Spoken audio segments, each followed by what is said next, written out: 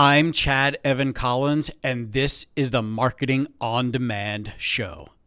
I set out to answer the million dollar question What is the biggest needle mover in your business, and what drives people to buy faster than anything else? Through selling over $30 million of my own products and services and setting two Guinness World Records for ticket sales along the way, I discovered how to move the needle consistently and quickly. If you're a marketer, e commerce seller, entrepreneur, or founder, join me as I reveal my exact strategies and see what today's smartest business leaders are doing right now to explode their sales. Do you want to learn how to boost your sales using these methods? Text the word demand to 90851. That's demand to 90851. Now, here's the show.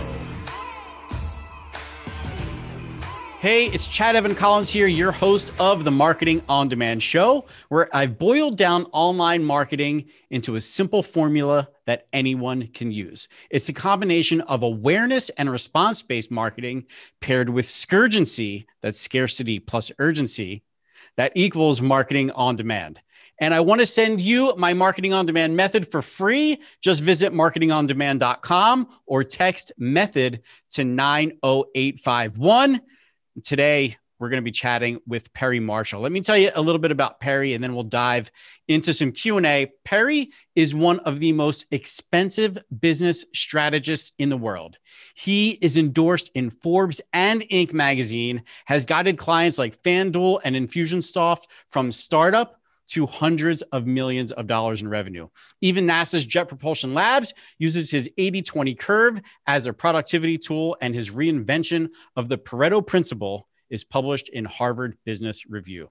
His best selling books include 80 20 Sales and Marketing, and his ultimate guides to Facebook ads and Google ads and more laid the foundation for the $100 billion pay per click industry. Perry, thanks for taking some time to hang out with us here today. Thank you, Chad. Thanks for having me in color, even though you're just in black and white. I, I, I that's never happened to me before. Are, are maybe are you from a 1960s Cary Grant movie? I know. Uh, yeah, I'm. A, I'm a throwback. I'm a throwback. Uh, so, so I want to. I want to dive right in because I know you have a background in electrical engineering, and what I'm most curious about is how does one with a background in electrical engineering find their way into the world of online marketing, whether it be copywriting, whether it be pay per click. Tell me what that, what was that moment in your life where you decided, you know what, I'm diving all the way in on this side? Well, I, I think there were there were three moments. Moment one was when my friend recruited me into Amway when I was 21. Okay. Which started to introduce me to the dark side. Uh, moment number two was when my this is about five years later my wife got got pregnant with our first child and then i got laid off from my job in my engineering job. And if i was going to stay in engineering it turned out i was going to have to move. And so i went into sales instead so i didn't could stay in chicago. And then that was two years of bologna sandwiches and ramen soup. And I, I would say the third step was I was fixing to get fired from my job. I'd worked there for a year and a half. Um, my sales was terrible. Our credit card debt was spiraling upward.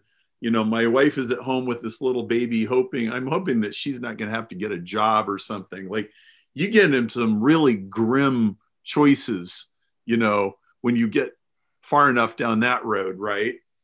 And I stumbled into a a seminar where Dan Kennedy was the last guy to speak, and he levitated 300 bucks out of my wallet, and I bought yeah. a magnetic marketing kit. Um, and then I guess maybe to put the cherry on the sundae, um, when I got fired from my job, I quickly got a new job.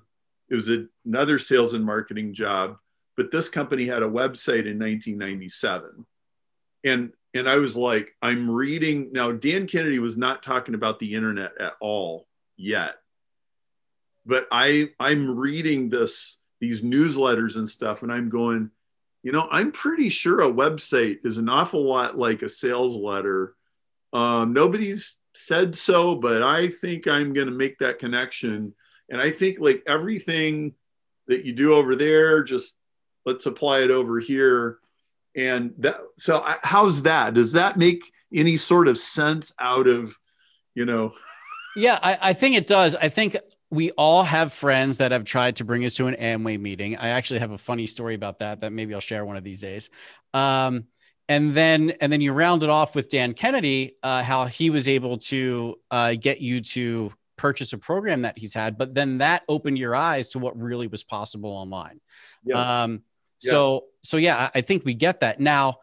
Once you knew that, okay, I could take I could take these things that I'm learning from Dan from I guess at that point it was was it mostly copywriting standpoint? Is that what you were Yeah, it was it was it was copywriting and kind of the guerrilla attitude and certainly some information about how to use the media, right? And and stuff like that.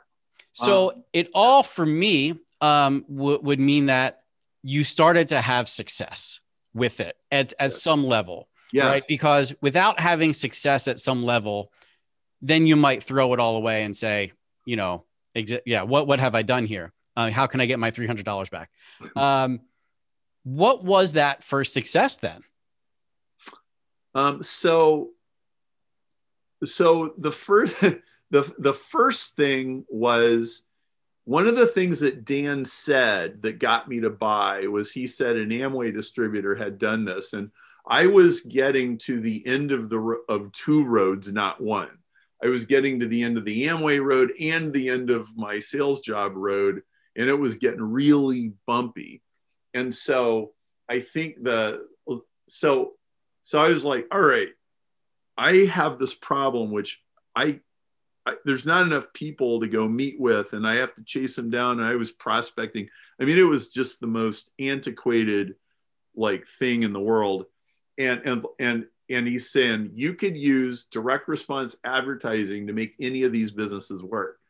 And so I wrote a sales letter for my MLM stuff and I was actually getting appointments, but the appointments were costing me like, I don't know, 50 bucks of media or something to get an appointment. And I cashed in a critique coupon and I sent it in to Dan. And Dan, Dan said, you know, you, you haven't actually done too badly considering that nobody's laying awake at night trying to get what you've got. Okay, like y- your numbers are actually okay. And that was a rose colored glasses shattering because what I had really done is they told me so I had moved to Chicago a couple years before I didn't really have a friend network. So I had to go meet people. And so I was doing the hardest way you could possibly try to do MLM to go around and meet people and stuff like that. And so what Dan taught me to do is convert that to stick money in a box and pull a lever and then get a result out, like all direct response marketing is. And when I did that, I suddenly realized that the economics are impossible. It was like so if you convert your time to money and you go invest the money you'll never get a, enough money back to make it worth the time. This thing is not scalable and it's not economically viable. And i suddenly realized that it was fool's gold. Well then i i i got a job at this at this company and we started working with a website and we started getting leads coming in and I experienced something that I had never experienced before, which was an email comes in, somebody wants me to call them. I call them. They're actually happy to talk to me, which was better than any form of therapy because, like, I, I won't even go into how emotionally damaged I had become by doing all this crap and getting nothing but rejection and refusal. And, and, and so my first commission check, it was the most money I'd ever made. I think I made like forty five hundred dollars in a month or something like that. And and and man, like I I couldn't get enough. Yeah, you know, I was going to I thought we were going to wait till a little bit longer to start talking about copywriting. Um, but I'm happy we're talking about it now because the question I have for you is there could be two um, two companies that offer the exact same product or service. They're after the exact same uh, ideal customer. Um, so they seemingly offer the same thing. The one attracts their perfect customer and does lots of business and they're happy, and the other repels their their customer, mm. right? Um, how important is it is the copy in your marketing message? Well, it's the second most important thing. Um, so the well the the most important thing is the audience um, and you have audience copy offer and i don't know maybe you know maybe i'm getting this backwards you could make arguments for you know I, I would say the audience is the most important thing. So i, I would agree. Who who start with, start with audience, who yep. you build an offer or you start with an offer and you find an audience. But either way, if the offer doesn't match the audience, you are totally, totally screwed. Now, in my in my opinion, the copy, any discussion of copy presumes that you have the offer right in the first place because if if you have a wrong offer and you fix it with copy, you're lying. right? Right? So, oh yeah, soccer mom, this is for you. And it's actually for 22 year old skateboard guys, right? Like, so, um, so, well, okay. So let's go back to your question and make sure that I'm dialing this in. Yeah. So, so the, so the question is how can, how can one company's, uh, let's stick with copy, how can one company's copy repel the same audience that they're trying to attract while the other company attracts that audience. Now they're both serving their their ads the same exact audience. They both have the perfect service. One's winning, one's actually like making people run away. Yeah, okay, so here's an example. So let's say they, they both got a great offer and they both got the right audience. Let's say the audience is dentists and let's say the copywriter refers to MDs as real doctors. Well, that's all it would take to completely piss off the dentists. Because even though, I mean, I'm not going to get in an argument about whether a dentist is a real doctor or not. It's just that a smart copywriter wouldn't even touch, they would just presume, you know, you guys are all doctors, right? And so like you can have the tiniest little thing wrong. Okay. And and you know, people calibrate to language. Like, okay, so so Chad, what's the first thing that you think of when I say precious? Uh I don't know. Um, precious. Like yeah, oh, oh, that's Lord of the Rings. Yeah, right. Like that's gone. Right. I, can, I needed the I needed the visual, Perry like well all it took was one word and a little like right wiggle a little finger motion and you're like oh got it okay you have to realize that if you're doing niche marketing correctly which is the only thing inexperienced marketers should ever try to do by the way. I don't think inexperienced marketers should ever just try to sell the unwashed masses. That's recipe for suicide. You you should tune into your audience that fast. Like literally within one or two sentences you know okay he's one of us and he's talking to me okay and i think i think that is the most important thing about copy and then if you can keep it going and it and and they keep going he's one of us he's talking to me he's one of us he's talking to me then you got it. You know when it comes to pricing and being able to charge maybe more than you think you're getting right now mm-hmm. um, there's often a psychological roadblock in business owners that don't think they could charge a premium for a particular service. And oftentimes, I believe that comes from a place of, well, I know as business owner that said customer can go somewhere else for something similar for a lower price, right? There's always the cheaper alternative, right? That that the that even the business owner sometimes thinks can get them the same result that I could get them, right? Yeah. And that belief system often hinders the upside the, their, their, the upside potential of the product or service they, they're offering to their customers that love them. And what I've what I've said sometimes is that people are choosing to do business with other people.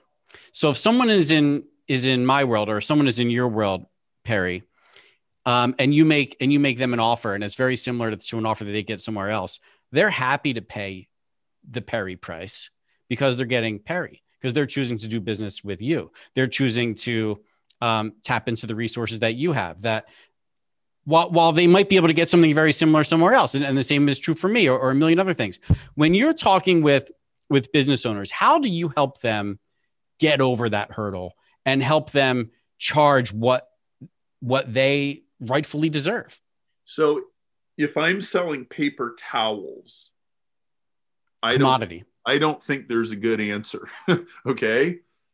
Uh, but I just even from your question, um, I think you're you're talking uh, especially to people who coach, teach, speak, authors, subject matter experts, and so I'll tell you a story about that. So one time I was uh, spending a weekend with my brother-in-law he is a guru of some repute of jazz mandolin. Pretty narrow niche, right? Um, he owns a music store. And my sister, married to him, older than me, she thinks I'm just a stupid punk. Um, she goes, she, she, she, she constantly refers to his customers as these minions who like give him money for some strange reason. and I said, Ted, listen to me.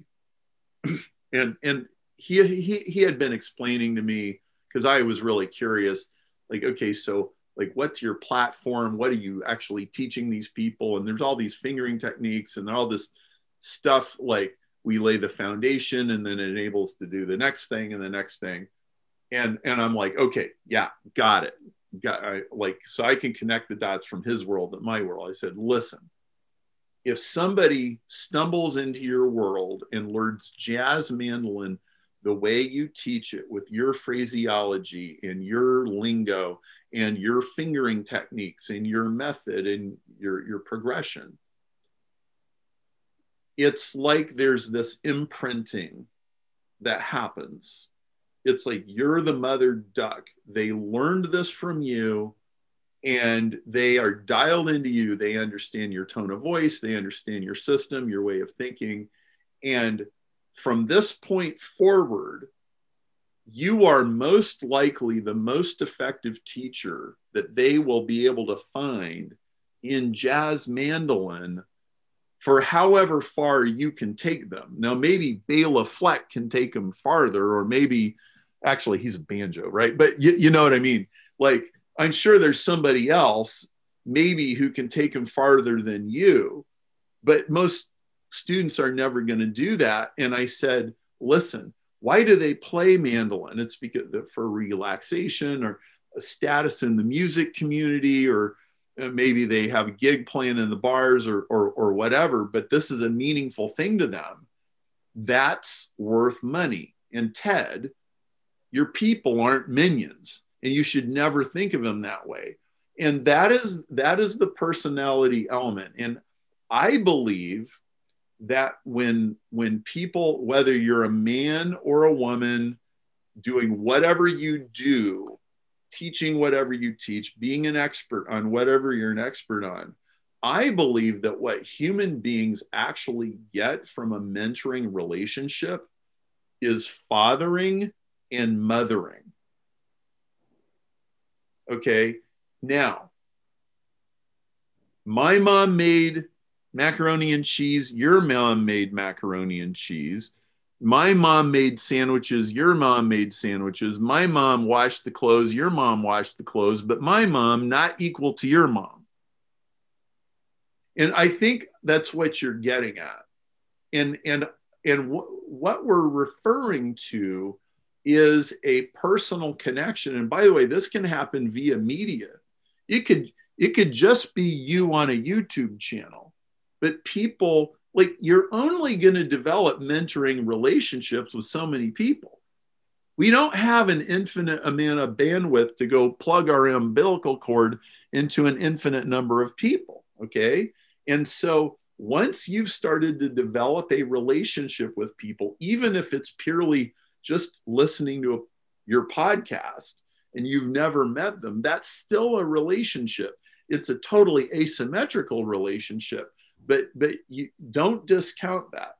Um, and and you know, just th- this is actually, I think, personality is one of the the best thing inventions in history because it means that at least everybody is not a commodity, right? if we're digging ditches, digging ditches, it's totally a commodity. But being Chad, not a commodity. Yeah. Um, all of those analogies uh, really should strike a chord with so many people that that are either watching or listening. The the my mom makes mac and cheese and your mom makes mac and cheese. I mean that that's just it. And if you can put yourself in the position of I am mom, which means there is no one, right? Figuratively, there is no one better than I am mm-hmm. at, at making this dish. And by dish, whatever your product or service is, yeah. then, then you could charge more because the people that are in your community will be happy to pay it as long as they get their your attention mm-hmm. on their problem right your solution to, to their problem Yes. Um, it, that's very well said. You know, I can't help, and, and for those that are listening, uh, you should probably go to the YouTube channel to to check this out because behind behind Perry, um, you will see um, hundreds of books, and um, and Perry is is an esteemed author, and I do have a question about about that about you you being an author and you becoming an author. Yeah. Um, similar to my question of, well, when did you know when did you turn to the dark side?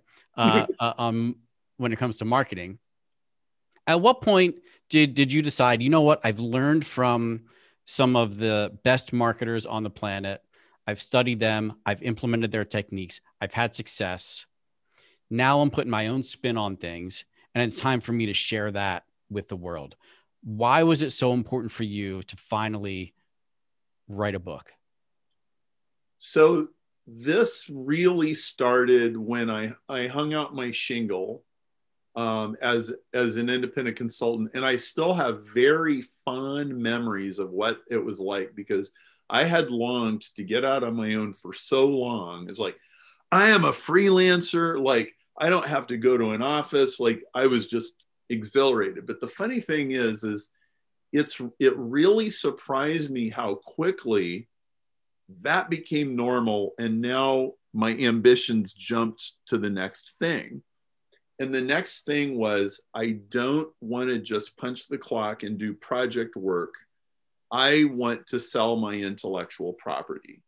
Um, I had studied information marketing and it just appealed to me. It was like, yeah, like I I want to do my own spin on things. So so I was I published a, a a free audio CD called Guerrilla Marketing for High Tech Salespeople, and then I made an info product which was basically for B two B technical uh, like marketing stuff, and and so that w- that was where I I cut my teeth. Now, what I think would be an interesting like answer your question, um, uh, uh, the next part was uh, so a year goes by, and I have been experimenting with Google Ads, and Google was brand new. Like, I think the AdWords program started in February of 2002, and in April, I discovered it and I was using it, and I was kind of bemused that nobody else seemed to realize how big of a deal this was. I was like, this is the coolest thing I have ever seen in my life. In fact, I'm not sure if I even want to tell people about it because this is so cool. This is like my my fishing hole. Well, I, I was talking to Ken McCarthy, and one thing led to another, and he goes, Perry, I think you should speak at my seminar on Google AdWords. And so I accepted the invitation. Well, as soon as I accepted the invitation, I knew I was suddenly in a new business, which I figured would last six months. I had no idea that Google was going to like take over the world. It, it, it was probably unimaginable then. But I knew, so I've got to have something I can sell when I go speak because they don't pay you in this business to go speak. And so I wrote this book called The Definitive Guide to Google AdWords. And, and again, that was just so I had something to sell when I spoke. But um, we started selling it as an ebook and it, it went supernova, like because Google went supernova and affiliate marketing went supernova. And about three years later, I realized if I don't get this in the bookstores, somebody's going to beat me to it. And there, there was another thing that happened right at that time that hugely affected this decision. Um, I had a, a, a friend make me a Wikipedia page because I believe that I deserve to be on Wikipedia. And it was like, well, I'm a famous marketing guy, and everybody in marketing knows who I am, and I'm selling this book. And about two days later, the Wikipedia gets page gets this thing on the front and it says, This appears to be a vanity entry by a non notable person. Please add suitable references or this page will be deleted. I had no suitable references. I was all over the blogosphere. I was all over internet marketing. There was not one single magazine, newspaper, television show, book, or anything and the page got taken down it's like okay perry you might be a legend in your own mind and you might be a legend in some little cult weird corner of the world that nobody understands but you are still nobody. And and i decided i need to get a publisher. And i basically gave a six figure book uh, like ebook business to a publisher and I traded money for credibility, uh, which became the Ultimate Guide to Google AdWords, which is now in, uh, coming into its sixth edition. Um, and and because I knew if the mainstream world does not take you seriously, you will eventually get taken out. And how long did you have to write that initial ebook from the time you were asked to speak at the event to the time you delivered your talk? I had about two months, maybe three. Um, so I, I had the invitation, I gave the talk, and I said, it wasn't quite ready, but it was like, this will be mailed out within the next 30 days. And I was just furiously Hustling. doing this. And I had a I had a conversation with it was actually with Matt Furey. um, because there was another guy who had named Andrew Goodman who had a Google book. Andrews was literally the first book on Google Ads. It was actually pretty good. And I was telling Matt about this that I had the speaking invitation, and Matt goes, So, what if somebody else has a book? You've got a different take on it than they do. You write a book.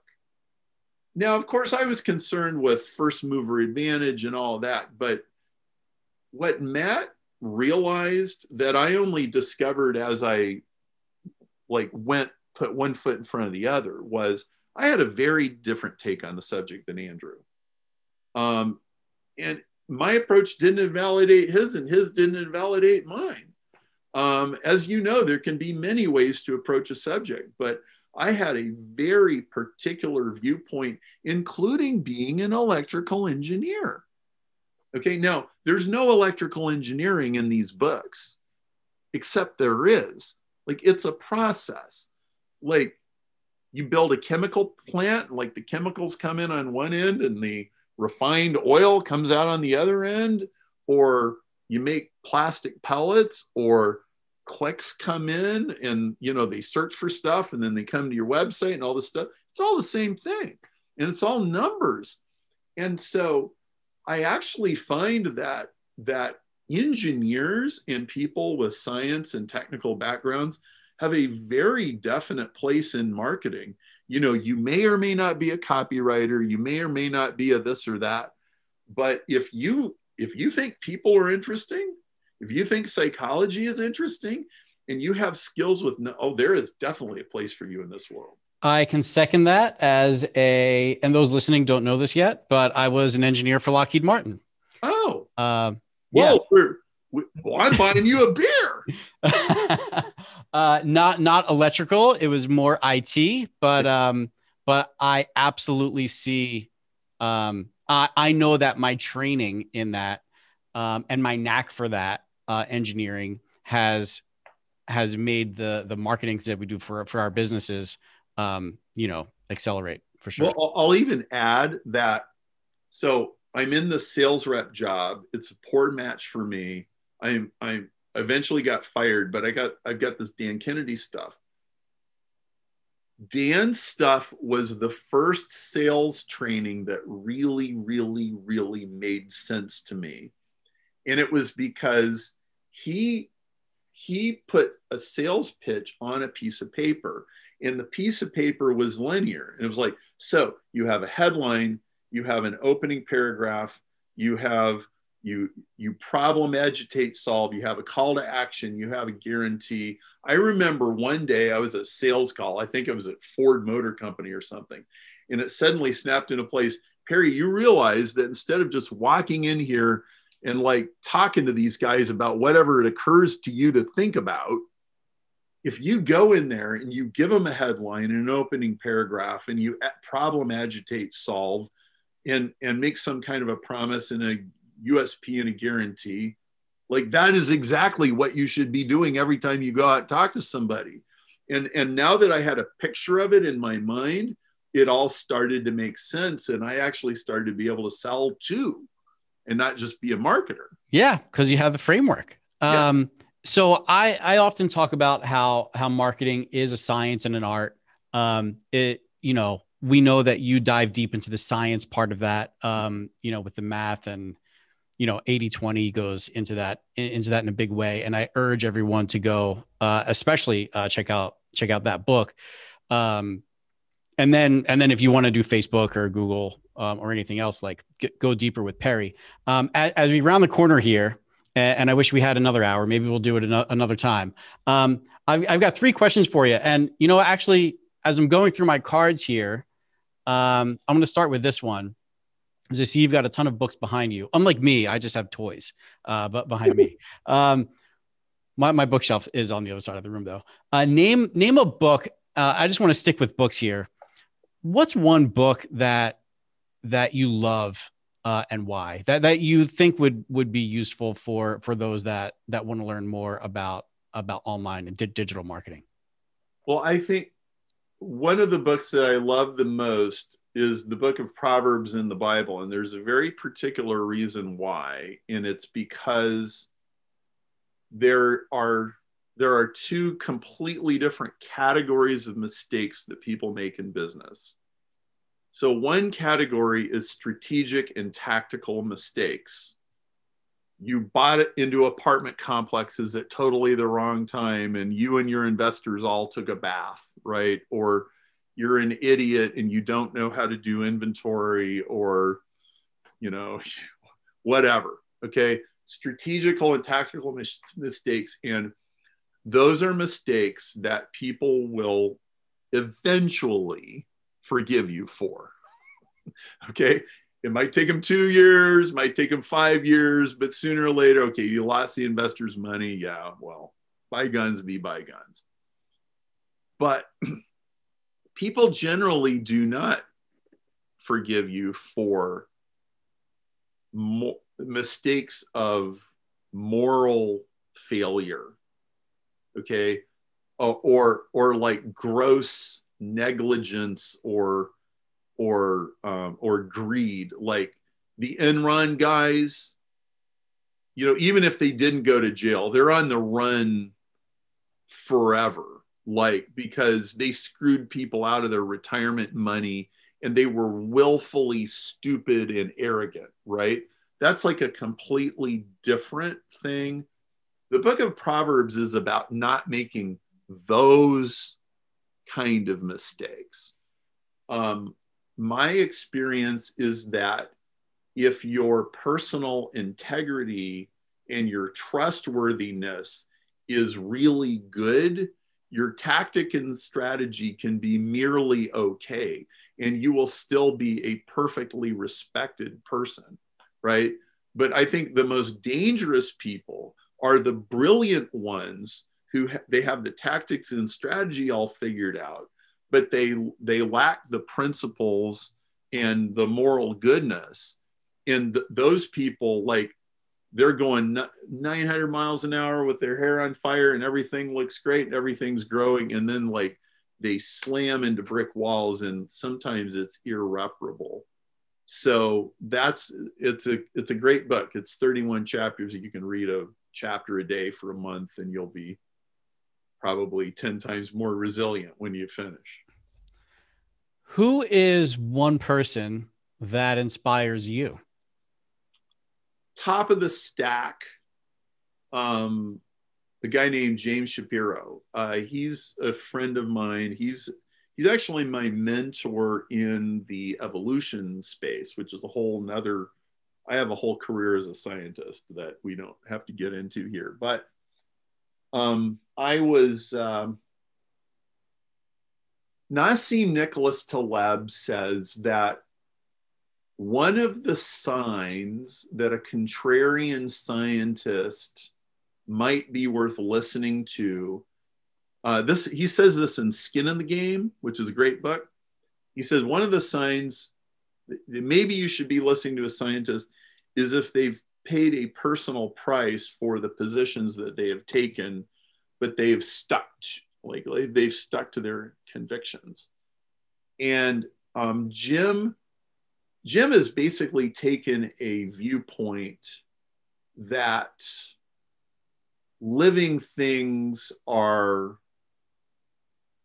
like cells are brilliant little engineers and that they have they possess uh, like a sort of intelligence um, that's you know that's unique and and even maybe in certain ways just smarter than smarter than we are and you know that that viewpoint has actually started to come in vogue in in the last five years.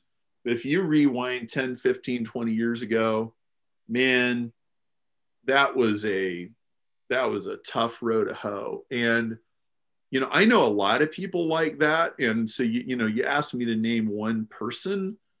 Um, i really admire people who are vindicated by time and who who take positions on things that are initially unpopular. I think that's a very admirable thing.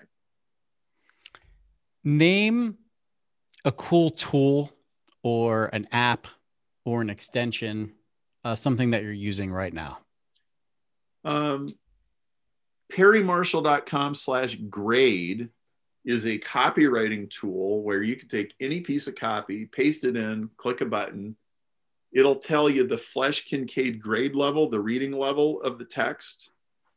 It'll tell you how many words in your text, and it'll give you the me to you ratio in the copy. So, how many times are you using you and your and that kind of language and talking to the reader about themselves? And how many times are you saying me and my and we and our? And it actually gives you a ratio. And the ratio typically should be better than two to one. You should you should be talking about your reader at least twice as much as you're talking about yourself. And even if you are talking about yourself, you should still implicitly be talking about your reader because they should be going, that guy is so much like me, it's not even funny. And then you're still talking about them because copy is always about the reader. I love that. Perry, how can people learn more about you? How can they follow along? I suggest that you go to to sell8020.com Uh, you can buy 80 20 sales and marketing for a penny plus shipping, which is seven bucks, which is about 10 or 12 bucks cheaper than it is on Amazon. And 80 20 sales and marketing will change your life. I know people say that. I'm completely serious. It will. It, if you if you go read the reviews, it's got about 600 ratings on Amazon. Um, you'll people go, "Oh my goodness, this was like I never saw the world this way before now, and suddenly it's everywhere." Absolutely. Um, and I've read those reviews and I've read the book uh, and and can attest. Um, Perry, you. thanks so much uh, for taking the time and coming on the Marketing on Demand show. Thank you, Chad. It was a pleasure. And I want to send everyone that is watching or listening my marketing on demand method for free. So just visit marketingondemand.com or text the word method to 90851 and we'll get it right over to you. Hey, real quick, if you enjoyed this episode, please let me know by rating this podcast and leaving me an honest review. If you found this episode useful for your business, take a screenshot and tag me on Instagram at chadcollins.me and use hashtag marketing on demand. That way, I'll be able to see it and repost it. I also created a guide of the top 40 ways people are using marketing on demand strategies and tactics in their businesses. And I want you to have it for free. Just text guide, G U I D E, to 90851 and I'll get it right over to you on demand.